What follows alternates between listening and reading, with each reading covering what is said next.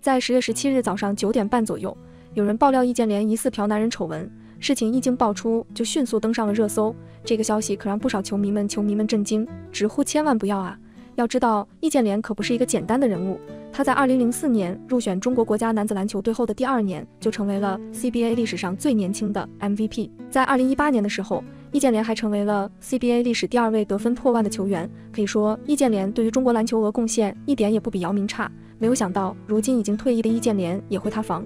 最开始的时候，是有位网友放出了一个群聊天记录，说是有易建联 PC 的消息，不知道真的假的。这个聊天记录中有易建联裸照，能够很清晰的看出这个就是易建联的侧脸。易建联弯腰在酒店的桌子上摆弄着东西，很明显是偷拍的角度。为了证明自己所说的都是真话，还将易建联的身份证爆出来了。这张照片的拍摄背景很明显是在酒店中，身份证上的照片和名字都非常的清晰，生日也确实是易建联的生日。不少的网友在看到这个身份证的时候都相信了，毕竟身份证这样隐私性强的东西一般是不会被人轻易得到的。不过有网友对这个身份证的真假性产生了质疑，因为有人发现易建联的身份证号的开头不对，是东莞本地开头的号码，而易建联出生在鹤山，所以这个身份证是 P 的。不过也有网友表示，地毯、桌上的摆件都是一样的。为什么一直说 P 图？你去哪里 P 得到易建联光屁股？但是又有网友用这个身份证号在幺二三零六上进行买车票，结果显示添加成功了。那这个身份证号是真的可能性就很大了。接着爆料者又放出了更多的聊天记录，表示这一次易建联给了自己一千五百美金。如果是真的话，那易建联可真的是非常大方啊。对比来说，可疑点有，但并不是很多。要想真的探究真相，还需要有关部门做技术甄别。对比之前卢文庆的录音门，就不难发现科技的高明。至于女方的身份，也是惹来网友的愤怒。有人认为她本身就是一个职业者，明明已经给了一千五百美刀，这样曝光客人的隐私属实，违反了自己的职业道德。紧接着更加劲爆的来了，这一次有聊天记录显示，易建联这次 PC 的对象居然是一个 TS，不少的网友都对这个 TS 产生疑问，这个 TS 是什么呢？紧接着就有知情者向网友们解释，TS 翻译过来就是异性者，国内别称天使。通俗来说就是变性人的意思，这样的解释可是惊掉了很多网友的下巴。毕竟谁也想不到易建联会干这样的事情，不少网友都表示这件事太意想不到了。作为公众人物还嫖嫖就算了，还嫖了个 TS，真是口味独特。不过还是有很多的网友并没有第一时间相信，他们从这些流传出的照片中找到了很多的破绽。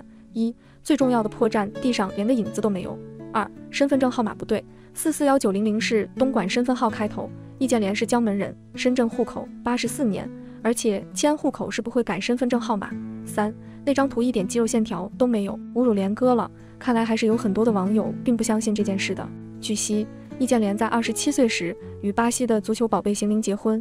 易建联老婆是模特冠军，长得美丽大方，身材更是特别好。父母都是商人，是一位真正的千金小姐。当时的两人爱得难舍难分，易建联还在没有准备的情况下，拿着一束简易玫瑰花就向女友下跪求婚，没有盛大的仪式，邢玲也开心答应。不得不说，邢玲一看就是过日子贤妻良母的面相。婚后的邢玲为易建联生下两个儿子，为了照顾家庭，邢玲直接舍弃了巴西国籍，移居中国，全力送入易建联的生活。她还十分刻苦地学习了中文，可以说为老公易建联真的是放弃了太多属于她的美好人生。如今。易建联的两个儿子还未成年，一个十岁，一个才七岁。邢玲为了他，甘愿退居幕后，做起了全职妈妈。如果易建联真干出婚内 PC 的这种事，真不知道他的老婆该有多伤心绝望。关键是，易建联的嫖的对象还不是纯女人。有人说他口味重，有人说他被设局了，毕竟被人偷拍了照片。至于视频是不是本人同意录的，谁也不清楚。还有人说这些照片会不会是 P 的，故意陷害易建联呢？但是有人说裸照的身高、体型，包括脸型都和他本人一样，就连爆出的证件照都能对得上，这个怎么可能造假呢？截止目前，易建联及其团队还未出来回应澄清。但唯一有疑惑的一点是，易建联曾晒出了跟腱手术的全身照片，从脚趾和青筋的对比照来看，各种细节似乎都能对得上，这也成了网友们关注的关键点。用网友们的话来说，AI 的技术强大，但也大概弄不明白这么细节的东西。虽说诸多证据仍然存疑，可毕竟无风不起浪。如果是假的，易建联估计早就义正言辞的出来澄清了。现在闹这么大还不现身，想必一切都是有原因的吧。另外，易建联嫖的对象的账号也随之被扒出，不管是头像还是身份，似乎都和知名网红京城乔姐对上了。但有意思的是，乔姐本人很快出面回应，坦言传闻中的女主人公并非自己，微信的头像也是爆料者刻意伪造所为。她也很自信的表态。后续将用法律手段维护自己的权益。其实这也不是易建联第一次被卷进这样的舆论当中了。在二零零八年的时候，某报纸就曾经报过易建联和女星施雨斐在北京某 KTV 包房喝酒，直到天亮两人才相拥离开。这件事当时也是引起了巨大额反响。不过同样也是疑点重重，因为爆料易建联唱歌的 KTV 是北京一个非常普通的 KTV，它的受众群体很广。一个是当红一线球星，一个是准好莱坞女影星，消费水平不可能这么的大众化。如果他们要去的话，最起码应该是一个私人会所，所以让人怀疑事件的真实性。并且根据爆料人说法，我们能够看出其中的细节非常的多，甚至还有易建联打电话的声音。要知道，易建联的普通话并不是很好，记者和易建联离得这么远，那怎么可能听清楚易建联在说什么呢？所以很多人认为整个事件都是在炒作罢了。信息来源：百度百科。易建联夜店事件。当时是炒作，但是不知道如今的这件事是否是真的。期待易建联做出回应。要知道，易建联的老婆是一名模特，长得非常的好看，个子很高，和易建联很是般配。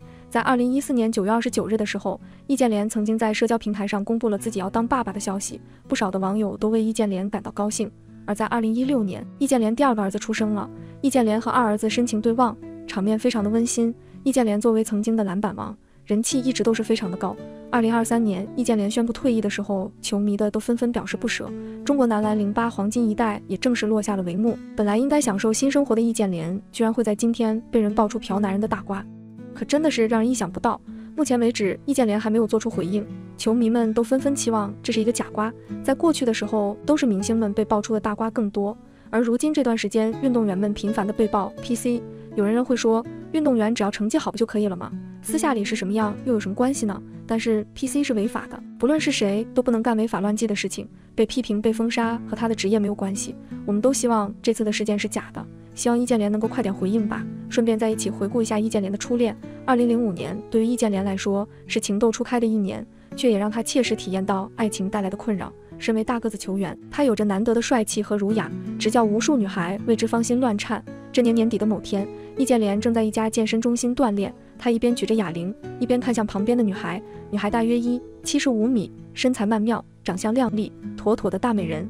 四目相对之下，两人并没有立即擦出什么火花，随后匆匆别离。次日的宴会中，他们再次相遇，同时感叹缘分使然。通过了解得知，女孩名叫李亚红，是一名出生于新疆乌鲁木齐的模特，曾夺得首届华人风采模特大赛冠军、最上镜奖等多个奖项，斩获荣誉无数。要知道。华人风采模特大赛冠军仅次于首席名模，在模特界的地位不言而喻。值得一提的是，李亚红还和李咏一起登上过央视春晚，并在《非常六加一》中扮演过杂蛋女。